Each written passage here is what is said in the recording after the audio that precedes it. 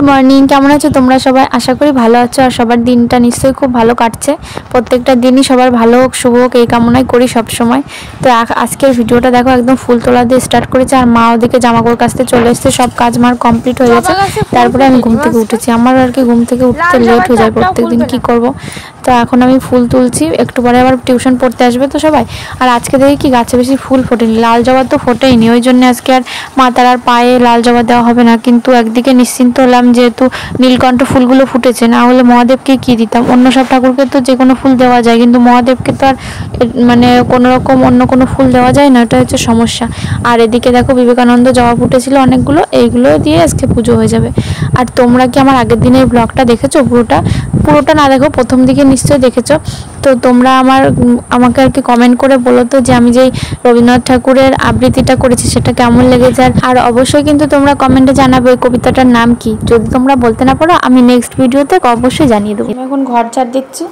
উঠে তো প্রথমে ফুল তুললাম। আর এখন সব ঘরগুলো ঝাড় দিয়ে নিচ্ছি। ঠাকুর ঘরটারও ঝাড় দেওয়া হয়ে গেছে। রান্নাঘরটা সব, বড় ঘর সব ঝাড় দিচ্ছে আর মা বাইরে জামা কাপড় কাচ্ছে। আর বাদ বাকি সব কাজ কমপ্লিট পৌনে একটা বাজে এখন। একটু পরে আবার পড়তে চলে আসবে।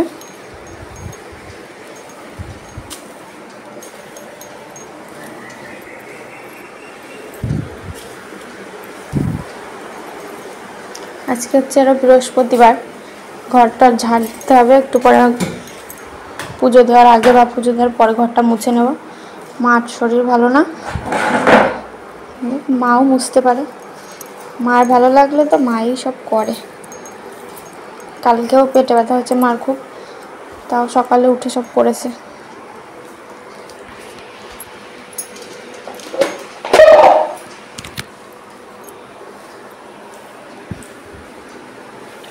ঘরটা ঝাড় দিয়ে নিই, পরে আবার কথা হচ্ছে। আমার ঝাড় দেওয়া হয়ে গেছে ঘর, এখন এই যে দুটো ধূপকাঠি না ধরাবো এখন। ধূপকাঠি ধরালে কি হয়? সকালবেলা তো একটা সুন্দর একটা পারফিউম সারা ঘরে ছড়িয়ে যায়। আমরা রুম স্প্রেও দিই আজকে ভাবলাম যে একটু ধূপকাঠি ধরাই ভালো লাগে। বাইরে যেহেতু বৃষ্টি হয়েছে, একটু আবহাওয়াটা একটু কেমন না, ওই জন্য। ধূপকাঠি ধরানো হয়ে গেছে। ধূপকাঠির পারফিউমও কিন্তু আলাদা একই রকম। ধূপকাঠিটা কিন্তু খুব সুন্দর সেন্ট এখানে রাখব ডাইনিং টেবিলের উপর। পাখাটার উপর রাখি, তাহলে গুঁড়োগুলো ওখানে পড়বে। সারা ঘর একদম সুন্দর একটা পারফিউম হয়ে যাবে সকালবেলায়। মন্দির মন্দির ফিল আসছে। দেখো, মায়ের জামা কাপড় কাচা কিন্তু হয়ে গেছে, এখন নেড়ে দিচ্ছে মা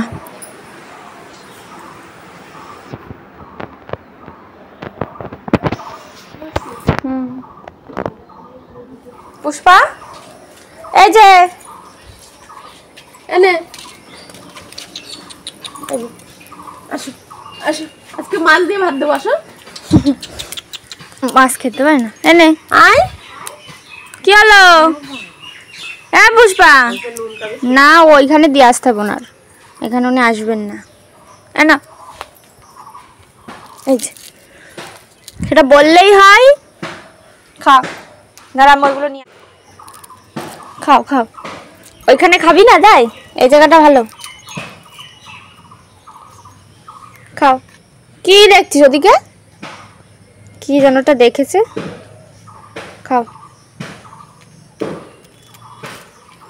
আমি এখন কফি বানাচ্ছি।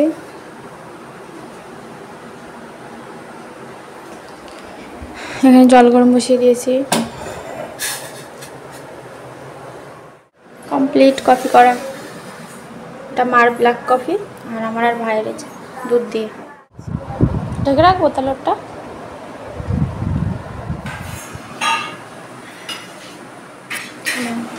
মা আজকে একটা স্পেশাল ডিশ রান্না করেছে।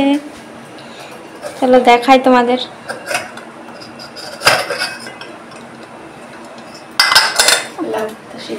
লাউ পাতা সিদ্ধ।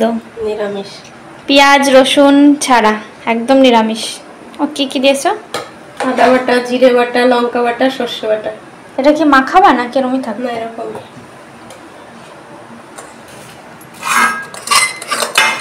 তারা চামচে করে তুলে দেখো। চামচটা কোথায় গেল? দেখো। পাতা কেটেছিলে না আস্তে আস্তে? কেটে। পাতাগুলো কেটে দিয়েছে।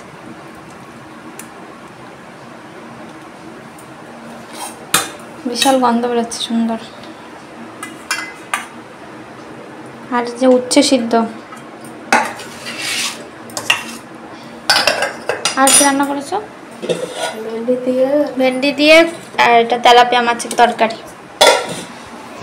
কেমন লাগল বল? বুঝতেই পারে না ও মা। হ্যালো? দুষ্টু টেস্ট হয়েছে? টেস্ট তো হবে। ভাই আর আমি এখন আরঙ্গটাই যাচ্ছি। দেখা যাচ্ছে না তো তোকে। হ্যাঁ, দেখো পিছনে ছাতা মাথা নিয়ে উঠতে পড়ল আরঙ্গাটা যাচ্ছি দুষ্টু আর আমি এখন। খাওয়া দাওয়া হয়ে গেছে আমাদের। একটা কাজ আছে কাজের জন্য যাচ্ছি। তাই না ভাই? কিন্তু এখন বলব না কি কাজ পরে বলব। আমি বলছি। না না না এখন না এখন না পরে পরে। আগে হোক তারপরে। জানিস না? আমরা চলে এসেছি আরঙ্গাটা এখন স্টেশন পার হচ্ছি। আর কারণ আমাদের বাড়ির থেকে যাওয়ার সময় তো স্টেশনটা বাদে তার জন্য স্টেশন ওই পাশে যাচ্ছি। ওই পাশে আমাদের কাজ আছে। আমরা প্রত্যেকদিন সন্ধ্যাবেলায় বাড়িতে ধূপ দিই তো এবার সেই নারকেলের খোসাটা শেষ হয়ে গেছে ওই জন্য মা বলছিল আরঙ্গাটা গেলে পরে নিয়ে আসতে, তার জন্য আরঙ্গাটা যখন আসলাম, তার জন্য এই দোকানে চলে আসলাম, আমরা এই দোকান থেকে আর এই পাশে আর একটা দোকান আছে, এই দুটো দোকান থেকে পুজোর সব কিছু কেনাকাটা করি। এই দোকান দুটোতে মানে ঠাকুরের যাবতীয় জিনিস, পুজোর সমস্ত সাম- সামগ্রী তোমরা পেয়ে যাবে, খুব ভালো মানে অনেক কিছু পাওয়া যায়। আর নারকেলের যে খোসা আমি কিনলাম, ওইটা প্যাকেট নেয় হচ্ছে দশ টাকা করে। তো যখন আমাদের বাড়িতে থাকে না, তখনই কিনি। এমন না যে সবসময় কিনি, বাড়িতে যখন থাকে না, তখনই। আমাদের বাড়িতে নারকেল গাছ আছে, কিন্তু নারকেল পাড়ার মতন কেউ নেই। আর নারকেল তেমন খাওয়াও হয় না, আমাদের ডাব অবস্থায় বিক্রি করে দেওয়া হয়। ওই জন্য ওই নারকেলের খোসা কমই হয়। যখন থাকে না, তখন আর কি এরকম কিনে নিয়ে যায়। আর দুটো ময়ূরের পালকও নিয়েছিলাম। মা বলছিল যে, ঠাকুর ঘরের জন্য একটা নিয়ে আসতে। তা ভাই বলল, ওর জন্য একটা নিতে। তার জন্য ওর জন্য একটা নিলাম। আর ঠাকুর ঘরের জন্য একটা নিলাম। ঠাকুর ঘরে হয়তো ময়ূরের পালকরা ভালো, তাই না? সেই জন্যেই কেনা হলো। আর আগে ছোটোবেলায় কী করতাম বলো তো ময়ূরের পালক ছিঁড়ে আমরা বইয়ের মধ্যে রাখতাম। আর সবাই বলতো যে একটা রাখলে পরে একটা থেকে দুটো, তিনটে হয়ে যায়, বাচ্চা হয়। এসব ভাবতাম। মানে ছোটোবেলার যা বুদ্ধি। আমি জানি তোমরা সবাই এরকমটাই করেছ হয়তো একটা সময়। আমরা সবাই এরকমটা করে থাকি, তাই না? আমাদের ছোটোবেলাটা একটা সত্যি আনন্দের ছিল। ময়ূরের পালক টালক কিনে তারপরে আমরা বাড়ির দিকে যখন আসব, মা বলেছিল মিষ্টি দই নিয়ে আসতে আরঙ্গাটার থেকে। তো মিষ্টি দই কিনে আমরা বেরিয়ে পড়লাম। আর আসার সময় এই দেখো, প্রথমে একটা ভ্যানে উঠেছিলাম। ভ্যানে করে নিমতলা গেছিলাম। নিমতলায় একটা কাজ ছিল। এবার নিমতলায় সেই কাজটা মিটিয়ে তারপরে আসার সময়, বাড়ি আসার সময় টোটোতে উঠেছিলাম। আমরা এখন বাড়ি যাচ্ছি টোটোতে করে। এ দেখো দুটো ময়ূরের পালক কিনেছি। দেখা যাচ্ছে না, ঝাঁকিতে। দুষ্টুর একটা আর একটা ঠাকুরের জন্য। বাড়ি যাই। যে কাজে এসেছিলাম, কাজটা হয়ে গেছে। পরে তোমাদেরকে জানাব যে কি কাজ। আমরা চলে এসেছি বাড়ি। এ দেখো ময়ূরের পালকটা কি সুন্দর লাগছে। আর এই যে নারকেলের খোসা নারকেলের খোসা কিনে নিয়ে আসছি বলে কতজন যে কত কিছু বলল। বলছে, এই আবার কেনা লাগে? আমরা তো বাড়িরটা শেষ হয়ে গেলে কিনেই ব্যবহার করি। কি করব? মা! আইসক্রিম এনেছি তোমার জন্য। কেন? আইসক্রিম খেলে কি হবে? ও? হ্যাঁ। আর ময়ূরের পালাক। নারকেলের খোসা আনছি বলে সবাই বলছে, এই আবার কিনতে হয়? হ্যাঁ বলেছি। আমার বলছি বাড়িরগুলো শেষ হয়ে গেলে আমরা কিনেই নি। আমি এখন পুজো দেবো, আমার স্নান করা হয়ে গেছে। পুজো দেবো। আজকে হচ্ছে বৃহস্পতিবার। পুজোটা দিয়ে তাড়াতাড়ি।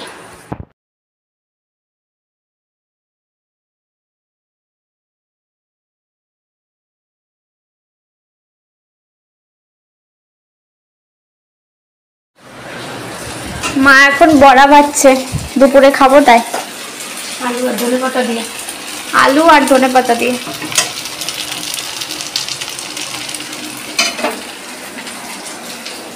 দুষ্ট দেখো কি করছে। আজকে স্কুলে যায়নি আমার সঙ্গে আরঙ্গাটা গেছিল মোয়ানা বই দেখছে মোয়ানা। মোয়ানা বই খুব ভালো লাগে আমাদের না ভাই?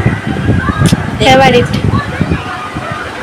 এখন বাইরে প্রচণ্ড রোদ্দুর উঠেছে একটু আগে সেই মেঘ করেছিল। এখন আবার রোদ্দুর। আর দুপুরে খাওয়া কমপ্লিট হয়ে গেছে, এখন আমি খাটে বসে বসে কয়েকটা রিলস বানাচ্ছি আমার জানলাই, খাটের সঙ্গে যে জানলাটা আছে, খুব সুন্দর রোদ্দুর পড়ে। আর এখানে বসে রিলস বানালে খুব সুন্দর ক্লিয়ার আসে। তাই এই জন্য একটা রিলস বানাবো ইনস্টাগ্রামে এই যে, এই ফোনে বানাবো। তাই ভাবলাম একটু ভিডিও করি। চলো রিলসটা বানিয়ে নিই, আর রিলসটা ইনস্টাগ্রামে দেবো ফেসবুকে দেবো। ঠিক আছে? রিলস বানিয়ে তারপরে আমি একটু শুয়েছিলাম, তারপরে আমার তো আবার সাড়ে চারটে পড়ানো ছিল, ওই জন্য আমি ঘুম থেকে উঠে পড়াতে চলে গেছিলাম। আর এই ফোনটা বাড়িতে রেখে গেছিলাম। এই ফোনটাতে আমি বেশি ব্লগ ভিডিও করি মানে নতুন যে ফোনটা কিনেছি সেইটা। আর পুরোনো ফোনটা নিয়ে পড়াতে গেছিলাম। তো তখন মা আর কি ঘরে বেড কভার পাল্টাচ্ছিল মার ঘরে। তার জন্য মা একটু ভিডিও করল। মার ভালো লাগে আর কি এরকম ভিডিও করার। ওই জন্যে মা চেষ্টা করে ভিডিও করার জন্য। আর ক্যামেরা ট্যামেরা কিন্তু সব মাই সেট করেছিল একা একা। বেড কভার পাল্টানোর সময় মনে হয় বারবার ফোনটা আর কি নড়ে যাচ্ছিল, তাই মা আবার এসে এসে ঠিক করছিল। আর যেহেতু পেছন ক্যামেরায় ভিডিও করছে, ওই জন্য তত বুঝতে পারেনি মা যে ঠিকঠাক দেখা যাচ্ছে কি না একটু আইডিয়া করে ক্যামেরাটা সেট করে তারপরে বেড কভারটা পুরো পাল্টেছে। আর মা যেহেতু শরীর খারাপ, ওই জন্য কাজ করতে গেলে মার একটু কষ্টই হয়ে যায়। তো মা আর কি ভিডিও করছিল আর কি আমি যখন ভিডিওটা এডিট করি, তখন আমি দেখি না। আমি বলছি, মা হয়তো এই ভিডিওতে কোনো ভয়েস দেয়নি। তার জন্য আমি ভিডিওটা আর কি এরকম একটু টাইম ল্যাপস করে মানে একটু টাইম স্পিডটা বাড়িয়ে দিয়েছিলাম। দিয়ে পরে দেখলাম যে মা কি একটা বলল, তো আমি ভালো করে শুনে নিলাম। তো মা কি বলছিল বলো তো? মা বলছিল যে, প্রায় কুড়ি পঁচিশ বছর ধরে এই একই কাজ করছি মানে সংসারের কাজ তো। তাই মা বলছে, এখন আর ভালো লাগে না তো কাজ বাজ প্রত্যেকদিন সকালে ঘুম থেকে ওঠার থেকে একদম ঘুমানো পর্যন্ত। একদম রেস্ট নেই। আসলে হাউস ওয়াইফদের এটাই, তাই না? সমস্যা। মার অনেক ছোটবেলায় বিয়ে হয়েছে, তো ওই জন্যে মার আর কি আরও এখন বেশি কষ্ট হয়ে যায়, আর ভালো লাগে না। আর শরীরটা যেহেতু সাথ দেয় না ওই জন্যে কাজ করতে গেলে মার কষ্টই হয়ে যায়। তাই মা এই কথা বলল যে, কুড়ি পঁচিশ বছর ধরে করছি, আর ভালো লাগে না এখন আর এত কাজ করতে। আর কি হাউস ওয়াইফদের তো সারাদিন এই, সেই সকালে ঘুম থেকে উঠবে সবার আগে, আর সেই ঘুমানো পর্যন্ত শুধু কাজ আর কাজ। তাও সবাই ভাবে, সবাই না, আর কি অনেকেই ভাবে যে হাউস ওয়াইফ তো ওনাদের তো কোনো কাজই নেই, কোনো কষ্টই হয় না। কিন্তু এসব কাজ করতেও কষ্ট হয়, যারা করে তারা ঠিক বোঝে। তারা আর ওইসব কথা কখনোই বলে না, তাই না? আমি আবার ছাদে চলে এসেছি, গেছিলাম পড়াতে বুনুকে। পড়ানো হয়ে গেছে আর ছাদে চলে এসেছি বাড়ি এসে। আর আর বুনুও চলে আর এসে দেখো, আকাশটা কি দারুণ লাগছে। ওই দূরে ওই জায়গাটা আরও বেশি সুন্দর লাগছে। ফোনে অত সুন্দর বোঝা যাচ্ছেই না। বিরাট সুন্দর লাগছে।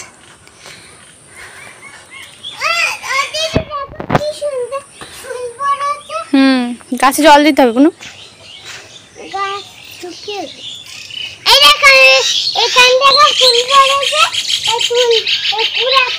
আজকে সকালে ছাদে আসিনি, তার ফুলগুলো তোলা হয়নি। শুধু শুধু দুটো ফুল নষ্ট হলো। আমার আগের ভ্লগ দেখে একটা দিদিভাই বলেছে যে আমার বাড়ির মানে গার্ডেনটা নাকি খুব সুন্দর। ওনার নাকি খুব ভালো লেগেছে। আমার ছাদ বাগানে আরও অনেক গাছ ছিল, অনেক গাছ মারা গেছে তো। আবার নতুন নতুন গাছ কিনে লাগাবো, তখন আরও সুন্দর লাগবে। এখন কেবল দেখো, সূর্যাস্ত হবে। ওই পাশটা পুরোটাই সূর্যের আলো, আর এই পাশটাই কিন্তু নেই। দারুণ লাগছে দেখতে। তাহলে গাছগুলোতে এখন জল দেবো। গাছে জল নেই একটু এখন আমি সন্ধ্যা দেব, সাড়ে ছটা বাজে। ছাদে গেছিলাম ছাদের গাছে জল টল দিয়ে আসলাম, সন্ধ্যাটা দিয়ে দিই।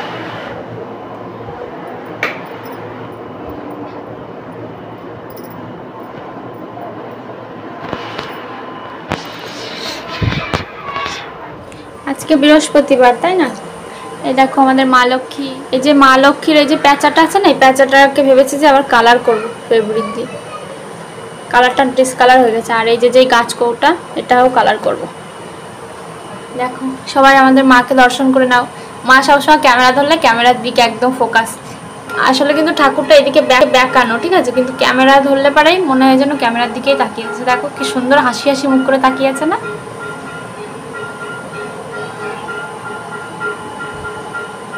আর এই যে হচ্ছে সরস্বতী। সরস্বতী মা। তাহলে পুজোটা দিয়ে নিই।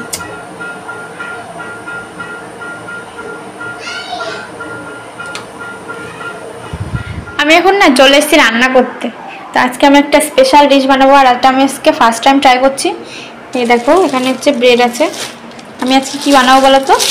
আমি বানাবো হচ্ছে পাও ভাজি। অনেকদিন ধরে ভাবছি যে পাও ভাজি বানাবো, কিন্তু আমি তো নিরামিষ খাচ্ছি, তো পেঁয়াজ, রসুন কোনো কিছুই যাবে না। বাড়ির সবার জন্যই বানাবো, তা মা আর ভাইয়ের জন্য এক্সট্রা এমনি পেঁয়াজ কুচিয়ে দেবো। আমারটার মধ্যে কিছুই দেবো না। আর এই দেখো এখানে মটর নিয়েছি। আগের দিন তো দেখালাম যে মটর ভিজিয়ে রেখেছিলাম। এই যে জল ঝরিয়ে রেখেছি। আর এখানে গাজর, আলু, ধনেপাতা আর এমনি যা যা মশলা লাগে সেগুলো এখন পেস্ট করে নেব। ঠিক আছে? চলো তাহলে শুরু করা যাক রান্নাটা। সব ভেজিটেবলসগুলো কেটে নিয়েছি আর হালকা একটু বয়েল করে নিচ্ছি। একদম পুরো সেদ্ধ করব না, সামান্য একটু বয়েল করব, ঠিক আছে? আর এখানে এই যে মশলাটা পেস্ট করা হয়ে গেছে। রেসিপিটা পুরোটা শেয়ার করব না। কিন্তু মানে পুরোটা শেয়ার করব হচ্ছে শর্টসে আমাদের যে কুকিং চ্যানেল আছে গুড ফুড সেখানটায় শেয়ার করব শর্টসে আর এখানে বড় ভিডিওতে আমি শেয়ার করছি না। কিছুটা একদম হয়ে গেলে রেডি হয়ে গেলে তোমাদেরকে দেখাবো কেমন কি হয়েছে। একদম হয়ে গেলে রেডি হয়ে গেলে তোমাদেরকে দেখাবো কেমন কি হয়েছে। এ দেখো, পাও ভাজির এই যে তরকারিটা রান্না হচ্ছে মানে ভাজি নাকি বলে যেটাকে এটা এর মধ্যে আর একটু ভেজিটেবলস হলে ভালো হতো, যেহেতু ভেজ হচ্ছে। তার জন্য। তো যা ছিল ঘরে তাই দিয়েই ট্রাই করলাম ফার্স্ট টাইম তো। দেখা যাক কি হয়। এবার দেখো পুরো সবজিটাকে ম্যাশ করে নিচ্ছি। এইভাবেই তো রান্না করে দেখেছি ভিডিওতে, তাই একটু ট্রাই করছি।